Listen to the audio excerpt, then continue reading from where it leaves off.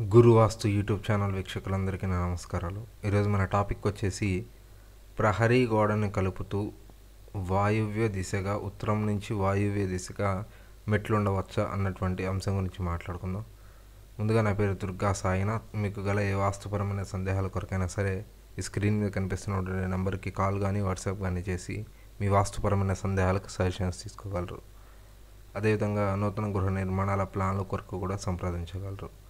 మా వీడియోస్ మీకు నచ్చినట్లయితే లైక్ చేయండి షేర్ చేయండి కమెంట్ చేయండి సబ్స్క్రైబ్ చేసుకోండి. మీ ఫ్రెండ్స్ అండ్ ఫ్యామిలీ మెంబర్స్కి సజెస్ట్ చేయండి.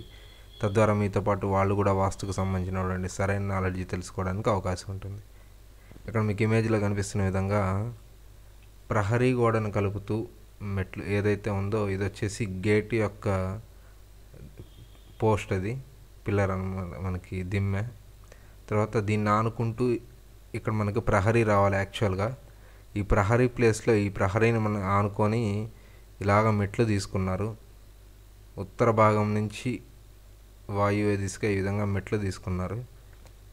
ప్రీవియస్గా ఇది కొనుక్కున్నటువంటి హౌస్ ప్రీవియస్గా ఉన్నటువంటి యజమాని ఆర్థిక నష్టాలతో ఇల్లు అమ్మేసుకోవడం జరిగింది.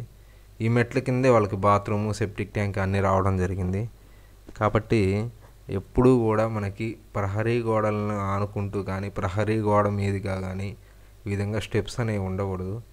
ఉత్తర భాగంలో నుంచి స్టార్ట్ అయ్యి వాయువ్య దిశగా ఇక్కడ మనకి స్టెప్స్ రావడం వల్ల మనకి ఆర్థిక సమస్యలు ఉంటే బ్యాంకింగ్ నుంచి రుణాలు తీర్చుకోలేని పొజిషన్ ఉంటుంది.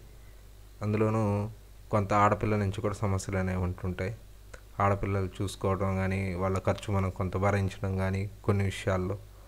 ఇటువంటి అన్నిటి కూడా ఇది ఎక్కువగా కారణమవుతుంది. వాయువ్యం అంటే ఆడపిల్లకి సంబంధించినటువంటి ప్రదేశం ఇంటిలో ఆగ్నేయం కానివ్వండి వాయువ్యం కానివ్వండి.